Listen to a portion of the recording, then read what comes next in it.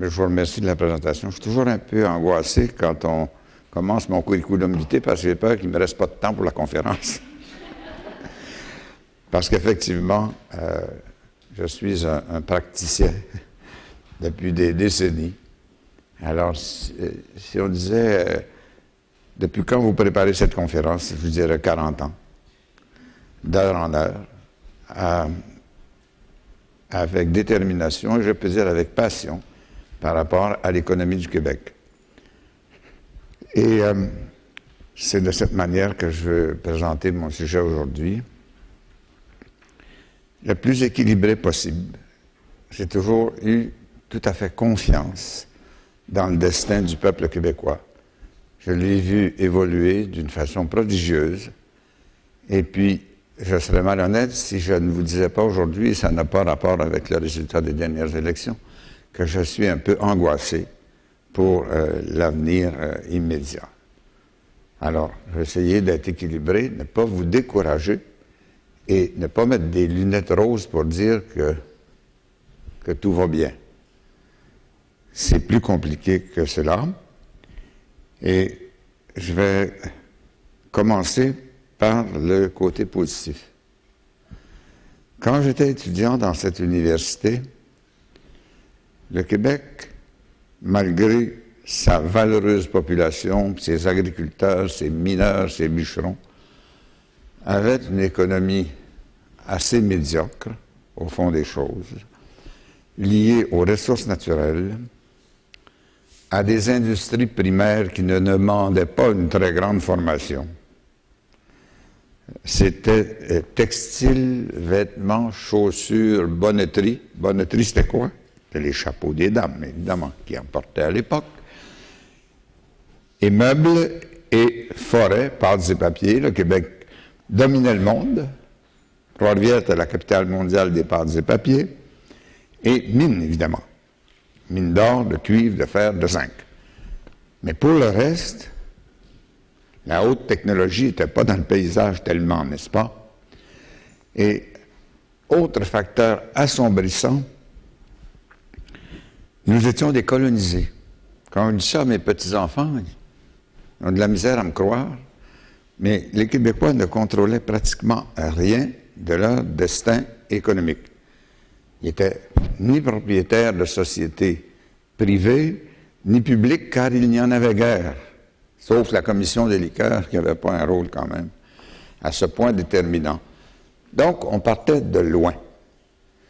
Quand j'étais étudiant dans cette université, le Québec avait le niveau d'éducation le plus bas des pays développés. Ça ressemblait au Portugal ou à peu près. Aujourd'hui, et ça ne ressort pas comme ça le devrait dans divers exposés et dans nos journaux, nous avons un des plus élevés.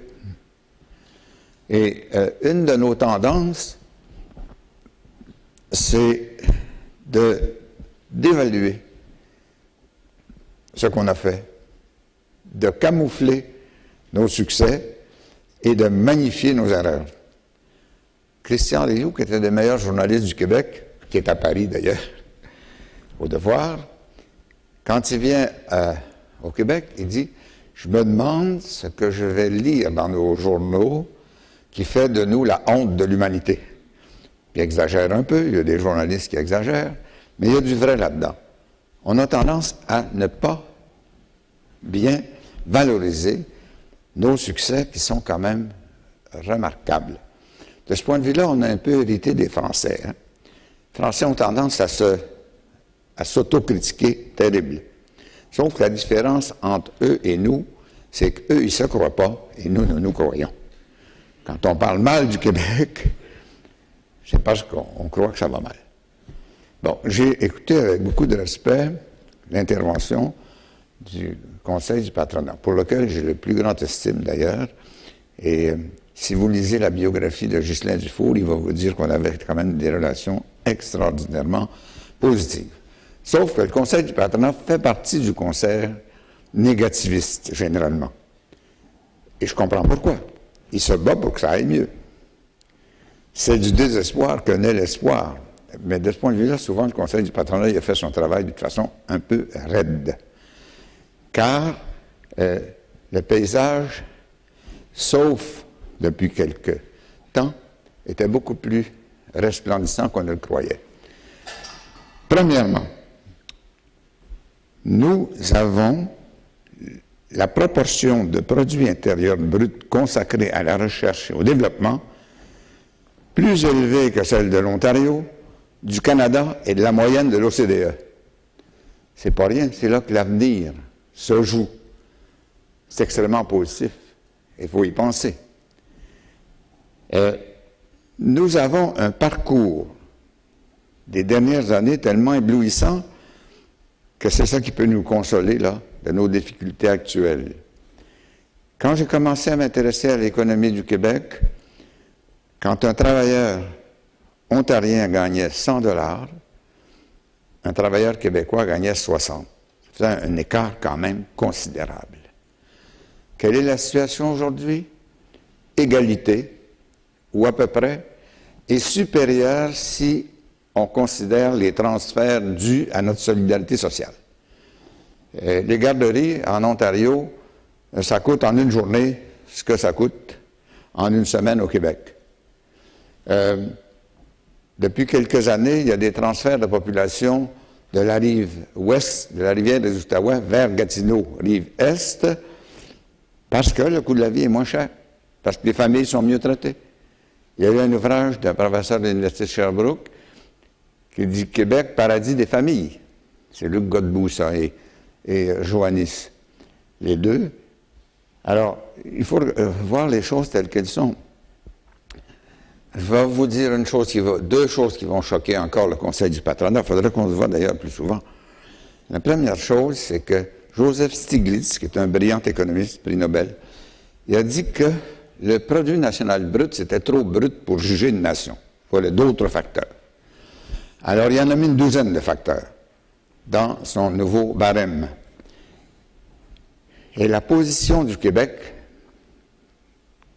installez-vous bien dans votre siège, c'est première au monde.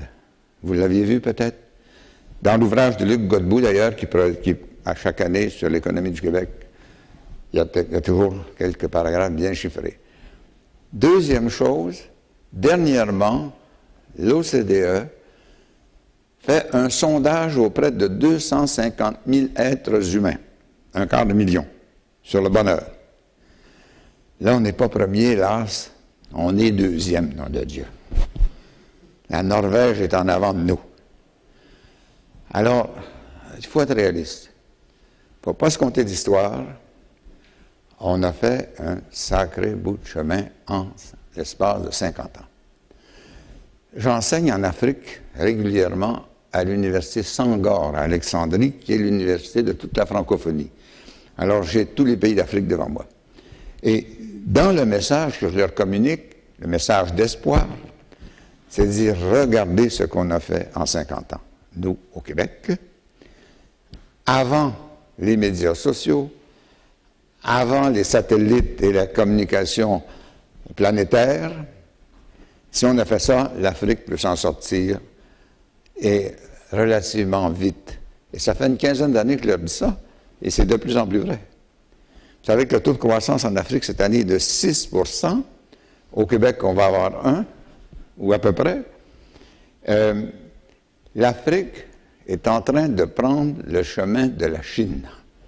Quand on a dit quand la Chine s'éveillera, ben là, on peut dire l'Afrique est en train de s'éveiller. Euh, ça veut dire que ça peut se faire un développement, ça peut se faire assez vite. Et le Québec l'a fait. Sauf que, et là j'arrive au, au moins drôle, dans les facteurs qui nous ont permis de faire ce développement assez rapide, il y a eu la démographie.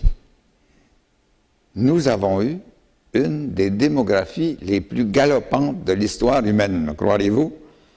dans mon village natal, là, il y avait des familles de 15, 18, notre troisième voisin, 22 enfants vivants, dans une petite maison. Je n'ai jamais compris comment est-ce qu'ils pouvaient cohabiter dans, ce chalet. Alors, c'était invraisemblable. Il est venu 10 000 Français ici. Puis aujourd'hui, il y a 8 millions de Québécois au Québec, mais 8 millions de descendants aux États-Unis d'Amérique, ça fait 16. Aucune nation s'est reproduite aussi vite que ça dans l'histoire.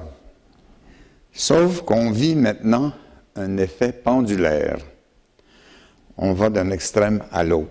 Et l'autre, c'est qu'on a une des démographies les plus lentes et les plus paresseuses au monde actuellement. On devrait s'inspirer de nos cousins culturels, les Français, qui, eux, sont dans la tendance contraire. Il va y avoir plus de Français d'ici 20 ans qu'il y a d'Allemands. La France va dépasser l'Allemagne en termes de population. Ça veut dire que la population a tendance à rajeunir, évidemment. Nous, c'est le contraire. Un vieillissement accéléré qui n'est dépassé par un seul pays au monde, et encore on est en train de les rejoindre, c'est le Japon. Le Japon, qui est quand même, à cause de ses traditions d'inventivité, ses traditions dynamiques qui peuvent d'ailleurs nous encourager, a des problèmes majeurs de démographie. Et le Québec aussi. J'aime mieux avoir été ministre des Finances dans le temps où je l'ai été qu'aujourd'hui. Parce qu'il y a un problème invraisemblable à affronter. Les revenus diminuent parce que les bébés boomers massivement partent à la retraite, c'est normal, et parce que nous sommes des gens solidaires, ce qui est à notre honneur, on s'en occupe. Alors, santé, euh, euh, refuge pour personnes âgées, maintien à domicile, mais tout ça coûte très, très cher. Et il y a de moins en moins de monde pour payer les retraités ne payent pas l'impôt que les actifs payent. Ça ne veut pas dire qu'ils n'en payent pas. Mais d'abord, il y a des retraites qui, vous le savez, sont menacées, qui est aussi une conséquence du vieillissement. Euh, il y a un certain nombre d'années, quand un mineur prenait sa retraite à Val d'Or, euh, à 66 ans, il mourait à 68, puis le fonds de pension était facile à gérer. Aujourd'hui, le même mineur, il vit jusqu'à 90 ans faut payer la pension entre-temps. Alors, ça s'applique aux mineurs, mais ça s'applique à l'ensemble de la population active. Donc, de plus en plus d'inactifs payant de moins en moins d'impôts et réclamant de plus en plus de soins et de dépenses.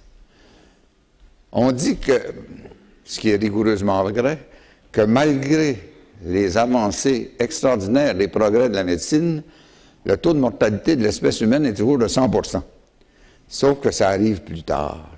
Et c'est là que ça coûte cher. Alors le gouvernement du Québec, là, c'est à cela qu'il a à faire face. Déjà, la moitié des dépenses gouvernementales vont à la santé. Et ça s'accroît de 6% par année et même davantage. Je ne suis pas sûr que ça ne va pas s'accélérer.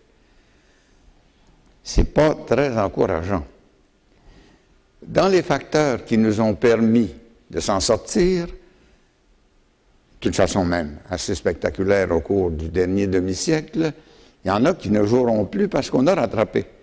Niveau d'éducation, on est rendu dans les plus élevés du monde. Il y a des petites déficiences à régler, là, je, le sais, mais dans vos statistiques, je ne suis pas sûr si les cégeps sont bien comptés. Il faut voir la différence entre cégep et université. Bon, en tout cas, peu importe.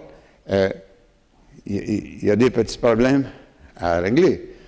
Mais on ne fera pas une ascension en éducation fondamentale comparable à celle qu'on a faite au cours des 50 dernières années. Quand j'étais étudiant dans cette université, il y avait 15 000 étudiants en tout et partout. Pourquoi je n'ai pas dit étudiante? Parce qu'il n'y en avait pratiquement pas. À la faculté de droit que j'ai fréquentée, j'ai fréquenté la moitié des filles de la classe et je l'ai épousée. Il y en avait deux. C'est toute une révolution, là. Aujourd'hui, à l'UCAM, la moitié de la classe des filles, même à Polytechnique, pratiquement la moitié des filles. Et cette révolution, elle est faite. On ne peut plus la faire. C'est fantastique. Ça nous a sauvés, d'ailleurs. On manque déjà de main-d'œuvre. Imaginez-vous si les femmes n'étaient pas au travail. Sauf qu'on ne pourra pas faire le même coup deux fois. Euh, quand je disais ça devant ma collègue Lise Payette, je disais qu'on on a récupéré 50% de l'intelligence disponible, puis elle disait non, 51. En tout cas, on ne se battra pas là-dessus. Mais si les femmes n'étaient pas au travail, on vivrait déjà une tragédie euh, invraisemblable. Alors, ça, il ne faut pas compter là-dessus pour l'avenir. Il ne faut pas compter sur la démographie pour l'avenir non plus. La démographie nous a aidés, elle nous plombe aujourd'hui, et ça ne se répare pas à court terme. En supposant qu'on relance la démographie comme c'était dans, mon jeune temps. Il n'y en a pas un seul qui va être sur le marché du travail avant euh, une vingtaine d'années, surtout avec l'éducation que ça prend aujourd'hui. Donc, pas de solution à court terme et pas de solution non plus à moyen et à long terme parce que jamais on reviendra au niveau que nous avions quand j'étais jeune. Euh, donc, je reviens sur mes années universitaires. Dans toute l'université, incluant médecine vétérinaire et euh, agronomie, il y avait 15 000 étudiants, je l'ai dit. À l'école des sciences de la gestion, où j'enseigne, à l'UCAM aujourd'hui, dans cette seule école des sciences de la gestion, c'est 15 000 ou 20 000 plus que donc dans une université euh, à l'époque, une faculté d'une université aujourd'hui a autant de monde. C'est une sacrée révolution, mais qui n'est plus à notre portée pour l'avenir. De façon extraordinaire, on l'a faite. Et sur le plan de cette démographie, nos professeurs nous disaient, avec des preuves mathématiques solides, que quand nous serions actifs, nous serions deux actifs pour nous occuper d'un inactif. Et dans les inactifs, il y avait des jeunes, puis il y avait des personnes âgées. Tout ça s'est inversé aujourd'hui. Le paradoxe complet, aujourd'hui, les étudiants qui sont dans mes cours à l'UCAM, comme actifs, auront sur les épaules le poids de deux inactifs. Ça change la vie, ça, en diable. Alors, ce n'est pas très encourageant, ce que je viens de vous dire. Je vais maintenant vous dire des choses encourageantes. En vous répétant une phrase que j'ai commencé à dire il y a à peu près trois ans, qui paraît exagérée, mais je l'avais bien étudiée et je savais qu'elle n'était pas exagérée j'ai dit la productivité doit jouer dans le Québec contemporain le rôle de la religion catholique au Québec dans les années 30. C'est pas rien. C'est-à-dire une sorte de domination. Le mot productivité et tout ce que cela comporte est la voie de notre avenir. La possibilité pour nos jeunes non seulement de conserver notre niveau de vie, mais d'avoir une vie plus intéressante encore. Parce que productivité, ça ne veut pas dire, comme certains l'ont laissé entendre, euh, travailler 50 heures par semaine. Ce C'est pas ça du tout. Euh, je sais qu'il y a eu des erreurs euh, assez spectaculaires dans ce domaine-là. Les Québécois sont des paresseux, ceci, cela. Non. C'est pas travailler 50 heures par semaine parce que si on passait à ça, la productivité aurait tendance à diminuer burn-out, stress, frustration de toutes sortes. Il faut tout simplement que chaque heure travaillée, même si on travaille pas plus d'heures que présentement, doit rapporter beaucoup plus. C'est une valorisation des heures travaillées. Et je vais vous donner un exemple spectaculaire qui va vous donner l'espoir. Une jeune fille qui travaille aujourd'hui chez Ubisoft gagnent près de 100 000 dollars par an. Entre 80 et 100 pour la plupart d'entre elles. Et comme elles ne sont pas encore mariées, payent la moitié en impôts. Son père, qui était dans le textile, au maximum gagnait 32 000. Ça veut dire qu'une fille d'aujourd'hui peut rapporter plus pour elle, pour l'État, pour la société, que son père à l'époque où l'industrie était de de nature assez médiocre. C'est là qu'est la solution. Et les syndicats qui considéraient le mot productivité comme un blasphème il y a une vingtaine d'années, ont fini par comprendre que pour payer de bons salaires, pour donner de bonnes conditions de travail à leurs membres, il fallait qu'ils se joignent aussi au concert de la productivité. Et ils le font. Euh, moi, quand j'ai euh, publié, d'ailleurs, vous voyez que mon obsession pour la productivité n'a pas commencé hier, un document fondamental dans l'histoire économique du Québec qui s'appelle le virage technologique. Certains d'entre vous peuvent s'en rappeler. Qui, justement, commençait déjà à faire la défense de ce que je viens de vous dire. Il faut aller vers des technologies élevées, il faut aller vers des valeurs ajoutées élevées. Il y a un président de syndicat qui a pris la parole publiquement quand j'ai présenté le virage technologique, puis a dit Landry, ton virage est un virage vicieux. Un président de syndicat important qui disait ça. Parce qu'il pensait que la technologie, ça veut dire moins d'emplois, moins d'heures de travail, bon, chômage. Il se trompait en maudit. L'intérêt même des travailleurs est dans la productivité. Et aujourd'hui, ils ont compris. Je ne verrai pas le président de la, CSN ni de la FTQ euh, dire que la productivité n'est pas une valeur prédominante pour le Québec d'aujourd'hui.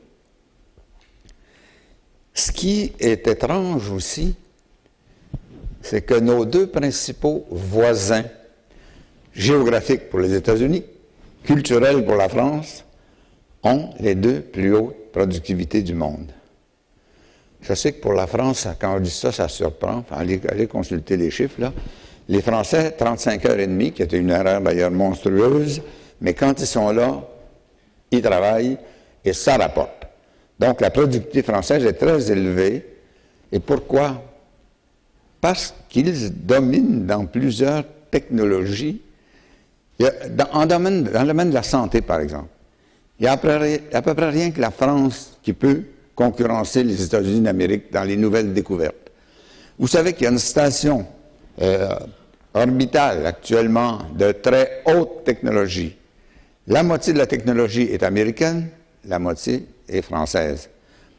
Comment se fait-il qu'on ne s'est pas connecté plus aux Français sur cette question, qu'on ne les a pas imités davantage dans la recherche de haute productivité ou sur les Américains qui ont d'autres méthodes mais qui y sont arrivés? Quel est le fond des choses? Et c'était ça déjà quand j'ai publié le virage technologique science, technologie, recherche, éducation, formation continue comme formation fondamentale au collège et à l'université. C'est là que ça va jouer. Alors, ça, met sur les épaules des responsables de l'éducation, non seulement au ministère, mais euh, également dans l'université, dans les collèges. L'heure du réveil est arrivée il faut faire remonter l'estime pour l'éducation au niveau qu'elle a eu à l'époque de la Révolution tranquille. Et à la Révolution tranquille, figurez-vous que ce n'est pas uniquement le gouvernement qui a fait le travail. Ce sont les citoyens et les citoyennes qui ont compris que c'est un enjeu majeur et qui ont poussé leurs enfants à s'instruire comme jamais. Qu'est-ce qui fait que cette révolution a eu lieu? Oui, il y a eu un système de pré-bourse qui n'existait pas avant. D'ailleurs, j'étais président des universités de Montréal, de l'Université de Montréal, la GEUM, ça s'appelait dans ce temps-là, et j'ai été plaidé auprès d'un homme fabuleux qui s'appelait Paul Gérin Lajoie, qui est encore euh, vivant d'ailleurs, pour créer un système de pré-bourse. Et il l'a fait. Euh, quand est arrivée l'affaire des carrés rouges, il y en a plusieurs qui sont venus m'interroger pour voir ce que j'en pensais. J'ai dit, c'est formidable, mais imaginez-vous que nous autres, on n'était pas dans la hauteur des frais de scolarité, on demandait la création d'un système de prêts et bourses qui fut créé et qui existe encore. Donc, ça a joué un rôle. Mais le rôle principal, je vous le dis, comme témoin, c'est les parents qui ont dit Votre avenir, ton avenir, mon petit gars ou ma petite fille, c'est de t'instruire. Je vais vous raconter une histoire qui est presque incroyable, mais j'ai eu des témoins jusqu'à jusqu'à ces tout derniers temps, puisque ma vieille mère est morte à 100 ans, et euh, elle m'a raconté ça plusieurs reprises. Ma grand-mère avait fait sa troisième année primaire. C'était une paysanne et intelligente qui m'a martelé au point de m'écœurer. Toi, tu vas faire ta neuvième année. Après ça, tu vas faire ton cours classique. Après ça, tu vas aller à l'Université de Montréal. Puis après ça, tu vas aller étudier en Europe. Une vieille paysanne de Saint-Jacques de Montcalm qui dit ça et qui rajoute une phrase incroyable qui m'a été confirmée par ma vieille mère avant qu'elle meure. Elle finissait sa, sa phrase en disant Puis après, tu seras premier ministre du Québec. Ce que vous dites est vrai. Alors, ça pour vous dire que ce n'est pas uniquement l'État qui peut régler les choses, c'est la conscience citoyenne. Et ça vaut pour l'éducation, pour la recherche, pour le développement. Mais aussi, il y a une responsabilité profonde que le Conseil du patronat doit avoir en tête, je suis sûr qu'ils l'ont, c'est les entrepreneurs. Recherche, développement, sciences, technologie, mais il faut que tu aies la machine qui soit là. Et la machine, elle coûte cher. Et dans plusieurs secteurs de notre économie, la révolution est faite ou en cours. Un des secteurs, des secteurs les plus spectaculaires, je ne sais pas si vous vous en rendez compte, c'est surprenant, mais c'est l'agriculture. Les progrès de productivité en agriculture sont invraisemblables. Par exemple, il y a moins de vaches aujourd'hui au Québec qu'il y en avait quand je suis devenu ministre de l'Économie. Et ils donnent pratiquement deux fois plus de lait. Comment est-ce ont fait ça? Parce que la ville de Saint-Hyacinthe est l'endroit du rayonnement de technologie agricole le plus avancé au monde. D'ailleurs, il y a plein de Chinois qui sont à Saint-Hyacinthe qui font semblant d'être là comme touristes. Ils ne sont pas là comme touristes. Ils sont là pour aller manger avec les gens de l'Institut agricole, puis avoir des, des, documents, puis aller pirater, si on peut dire, cette technologie. Alors, vous voyez bien ce que ça donne. La science fait que l'économie peut profiter deux fois plus des troupeaux agricoles. J'ai vu une chose époustouflante euh, il y a quelques semaines. Un poste de traite, c'est une machine qui fait la traite des vaches. Si mon grand-père avait vu ça, il aurait fait une crise cardiaque. Il, s'assoyait, lui, tous les jours pour faire sa traite. C'est une machine. La vache a une puce à l'oreille, puis si va se faire traire trop souvent, la machine, il bloque l'entrée. Quand c'est son tour, c'est spectaculaire en maudit. J'étais ébloui, mais le cultivateur m'a dit Sais-tu comment ça coûte? Je pense à 250 000 dollars. C'est ça la productivité. Ça coûte cher, mais le cultivateur l'a fait. Toutes ces grosses machines agricoles, là, ils font, dans un quart d'heure, plus de labour que mon grand-père en faisait en une semaine. Vous avez vu ces grosses machines très larges? Alors, il faut que tous les segments de notre économie, utilisant recherche, développement, formation de la main-d'œuvre, investissent pour que la chose soit possible. Euh, la première fois que j'ai visité des mines à Val d'Or, il y avait une dizaine de mineurs sur le chantier d'abattage. On descendait dans la mine, puis les autres étaient là avec leur pic puis leur pelle. Aujourd'hui, c'est une machinerie avancée qui est contrôlée par ordinateur. Alors, c'est plus 12, 15 personnes, c'est une personne, puis souvent, c'est une jeune femme qui est devant l'ordinateur et qui contrôle le chantier d'abattage. C'est ça que nos patrons et nos investisseurs doivent réaliser. Ils doivent mettre l'argent, aller chercher les technologies ici ou ailleurs. Les Allemands sont très avancés, les Japonais sont très avancés, les Français dans plusieurs technologies très avancées. Si la technologie vient d'ici et si on a les brevets, parfait. Si elle vient d'ailleurs et qu'on s'en sert pour avoir une productivité élevée, encore mieux. Et avec ça, euh, nos jeunes reprendront l'espoir, à la condition, par ailleurs, et ça c'est la dernière de mes angoisses que je vous communique, à la condition qu'ils respectent l'entrepreneuriat. qu'ils y croient. Et il y a de vilaines tendances au Québec actuellement. Hein. Les entrepreneurs euh, sont malhonnêtes, euh, c'est des exploiteurs. Pas d'entrepreneurs, pas d'emploi. Pas d'emploi, pas de prospérité, pas de répartition sociale de la richesse. Et ça, c'est un autre avantage du Québec qui nous a beaucoup servi, que je n'ai pas mentionné, et qui nous a évité les affres de la crise nord-américaine contemporaine. C'est nous qui en sommes les mieux tirés. Pourquoi? Parce qu'on répartit la richesse. L'épicentre de la crise américaine, c'est que les classes moyennes américaines n'avaient plus d'argent pour dépenser. Alors, si on ne peut pas dépenser, qu'est-ce qui crée de la croissance? Et là, des Kids à Chicago ont trouvé la solution, on va leur prêter de l'argent. Et l'engrenage infernal s'est tissé autour de ça. Heureusement, au Québec, on n'a pas ça. Le fameux 1% il y avait des manifestants qui disaient 1% au Square Victoria. Ça valait peut-être à Wall Street, mais pas au Québec. Alors, il faut continuer donc à répartir la richesse. Mais pour la répartir, il faut la créer. Et pour la créer, il faut des jeunes qui décident de devenir des entrepreneurs. Et pas uniquement des salariés ou des fonctionnaires. C'est tout à fait respectable d'être fonctionnaire. C'est tout à fait respectable d'être salarié et d'avoir son fonds de pension. Mais euh, je le dis à mes étudiants euh, ici euh, en Chine, je n'ai pas besoin d'insister, ils sont déjà fanatiques. Je le dis à mes étudiants en Afrique, si vous avez la moindre velléité de devenir entrepreneur, foncez. Et ce n'est pas uniquement pour des questions matérielles. Si vous devenez milliardaire, tant mieux. Mais si vous devenez milliardaire et que vous avez créé des dizaines et des dizaines de milliers d'emplois, vous pourrez dormir tranquille.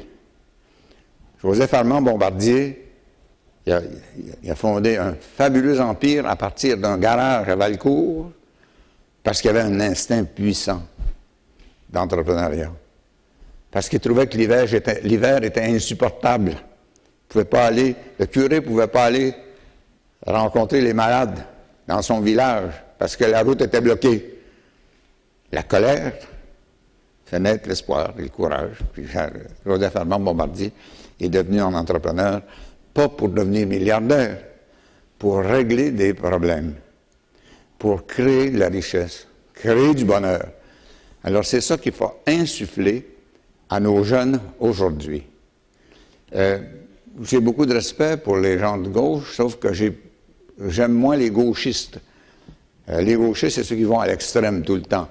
Et ceux-là méprisent les entrepreneurs. Il ne faut pas leur laisser le chemin libre.